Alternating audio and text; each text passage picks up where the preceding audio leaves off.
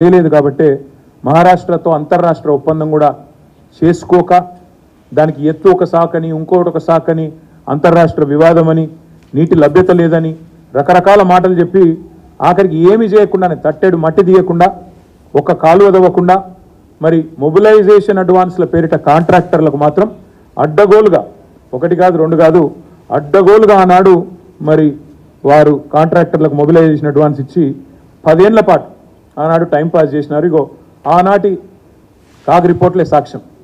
యాభై రెండు వేల కోట్ల యాభై రెండు వేల కోట్ల అవినీతి అని నేను చెప్పడం కాదు. ఆ రోజు కంట్రోలర్ అండ్ ఆడిటర్ జనరల్ కూడా వారిని తప్పుపెట్టినారు. ఆనాడు యాభై రెండు వేల కోట్లకు సంబంధించి ఇది డెక్కన్ క్రానికల్ అనే పత్రిక రాసిన వార్త. యాభై రెండు వేల కోట్లు అని చెప్పి. ఇది టైమ్స్ ఆఫ్ ఇండియా అనే పత్రిక. జలయజ్ఞం the mother of all frauds.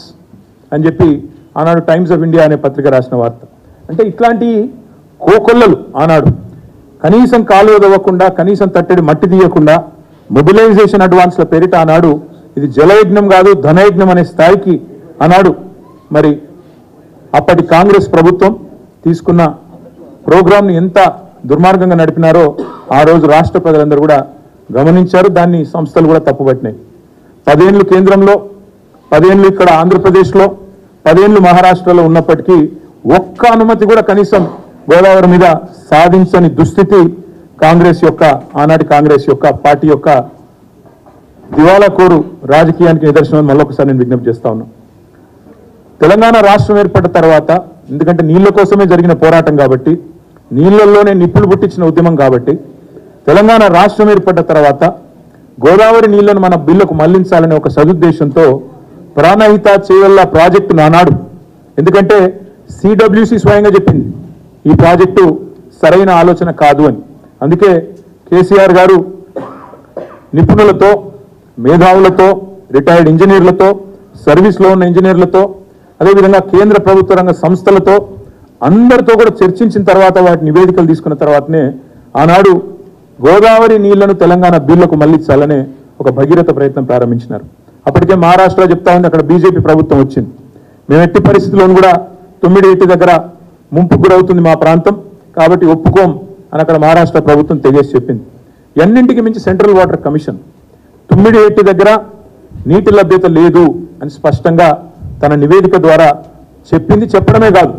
Alternative చూసుకోండి ప్రత్యామ్నాయం చూసుకోండి అని స్పష్టంగా చెప్పిన తర్వాత సెంట్రల్ వాటర్ కమిషన్ లెక్కలు వ్యాప్కో సర్వే నిపుణుల సలహాలు సంప్రదింపులు ఇవన్నింటి తర్వాత ఆనాడు తుమ్మిడి హట్టి కంటే ఎక్కువ నీరు లభ్యత ఉండే మేడిగడ్డ వద్ద మరి నీళ్ళు తీసుకోవడం మేలు అనే నిర్ణయానికి వచ్చి కాళేశ్వరం అనే ప్రాజెక్టుకు ఆనాడు శ్రీకారం చుట్టడం జరిగింది.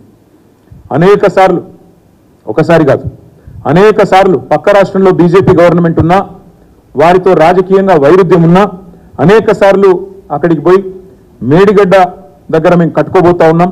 మరి ప్రాణహిత గోదావరి మొత్తం అంతా కూడా అక్కడ అద్భుతమైన నీటి లభ్యత ఉన్న ప్రాంతంలో కట్టడం వల్ల మాకు లాభం జరుగుతుంది మా రాష్ట్రానికి. అదేవిధంగా మీకు కూడా ఇబ్బంది తప్పుతుందని చెప్పి వారిని ఒప్పించి అంతర్రాష్ట్ర ఒప్పందం కూడా చేసుకొని మరి ఒక డిప్లొమసీ చూపెట్టి ఒక వాటర్ డిప్లొమసీ అనే కొత్త ఆలోచన విధానాన్ని కూడా శ్రీకారం చుట్టి గోదావరి పైన బరాజుల నిర్మాణం చేయడం జరిగింది. పక్క రాష్ట్రంతో పంచాయతీలు పెట్టుకొని అంతర్రాష్ట్ర ఇబ్బందులు అంతర్రాష్ట్ర వివాదాలని చెప్పి ఉమ్మడి ఆంధ్రప్రదేశ్లో ప్రాజెక్టులు కట్టకుండా మరి ఆనాడు ఇబ్బంది పెడితే జల దౌత్యం నెరిపి మొత్తానికి అన్ని అనుమతులు కూడా సాధించి కాలంతో పోటీ పడుతూ కాళేశ్వరం ప్రాజెక్టు నిర్మించిన ఘనత గౌరవ పెద్దలు కేసీఆర్ గారిది. చాలామంది మిత్రులు మాట్లాడుతున్నారు ఈ మధ్యన. కాళేశ్వరం అంటే ఒక మేడిగడ్డ మాత్రమే అన్నట్టు కాళేశ్వరం అంటే ఒక బరాజ్ మాత్రమే అన్నట్టు కొంతమంది తెలిసి తెలవక తెలిసి కూడా కావాలని ప్రజల్ని తప్పుదోవ పట్టించడానికి కూడా మాట్లాడుతున్న పరిస్థితి. అసలు కాళేశ్వరం అంటే ఏమిటి అనేది రాష్ట్ర ప్రజలకు ఈరోజు చెప్పదలుచుకున్నాం. దాంతోపాటు తప్పకుండా రాష్ట్ర ప్రజలకు అదేవిధంగా కొంతమంది తెలిసి తెలియక మాట్లాడుతున్న వాళ్ళకు కూడా స- సజీవంగా చూపెట్టాలనే ఉద్దేశంతో మేము మేడిగడ్డకు కూడా బయలుదేరిపోబోతా ఉన్నాం. మరి పెద్దలు కేసీఆర్ గారు నల్లగొండ సభలో బహిరంగ సభలోనే స్పష్టంగా చెప్పారు. మీరు పోవడం కాదు మేమే పోతాము నల్లగొండకి మన మేడిగడ్డకి. మేడిగడ్డ మాత్రమే కాదు అన్నారం పోతాము సుందిల్ల పోతాము.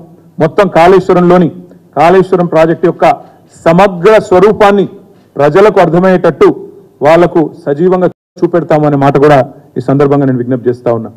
కాళేశ్వరం అంటే ఒక మేడిగడ్డ కాదు. కాళేశ్వరం అంటే మూడు బరాజులు. కాళేశ్వరం అంటే పదిహేను రిజర్వాయర్లు. కాళేశ్వరం అంటే ఇరవై ఒక్క పంప్ హౌజులు. కాళేశ్వరం అంటే రెండు వందల మూడు కిలోమీటర్ల సొరంగాలు. Two hundred and three kilometres of tunnels. Kaleshwaram అంటే ఒక వెయ్యి మూడు ఒక వెయ్యి ఐదు వందల ముప్పై ఒక్క కిలోమీటర్ల ప్రవాహ కాలువలు.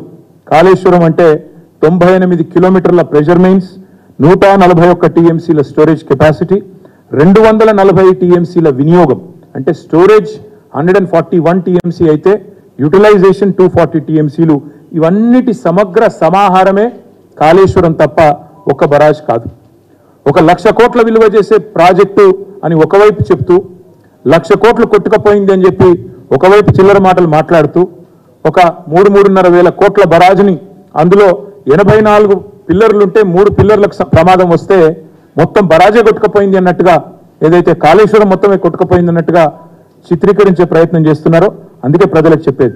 కాళేశ్వరం అంటే ఒక మేడిగడ్డ కాదు. కాళేశ్వరం అంటే మూడు బరాజులు పదిహేను రిజర్వాయర్లు ఇరవై ఒక్క పంపింగ్ స్టేషన్లు పంప్ హౌజులు రెండు వందల మూడు కిలోమీటర్ల టనల్స్ ఒక వెయ్యి ఐదు వందల ముప్పై ఒక్క కిలోమీటర్ల కాలువలు ఎన్నింటితో పాటు అన్నింటికి మించి నలభై లక్షల పైచిలుకు ఎకరాలకు నీరిచ్చే కామధేనువు Kaleshwaram. Kaleshwaram is not a simple project ఎనభై ఎనిమిది మీటర్ల ఎత్తు నుంచి సముద్ర మట్టం మీద ఎనభై ఎనిమిది మీటర్ల ఎత్తు నుంచి ఆరు వందల పద్దెనిమిది మీ- ఆరు వందల పద్దెనిమిది మీటర్ల ఎత్తుకి మరి గోదావరి గంగను పైకి తీసుకొని పోయే ఏటికి ఎదురెత్తుతూ పైకి తీసుకొని పోయే ఒక బృహత్తరమైన కార్యక్రమం కాళేశ్వరం. ఇంకొక మాటలో చెప్పాలంటే తెలంగాణ టోపోగ్రఫీ తెలిసిన వారికి తెలుసు తెలియని వారికి తెలియదు. తెలంగాణ దాదాపుగా ఒక గుడిసెలాగా ఇట్లుంటుంది. మధ్యలో హయ్యర్ ప్లాట్ ఉంటే రెండు వైపులా ఒకవైపు కృష్ణ మరొక వైపు గోదావరి.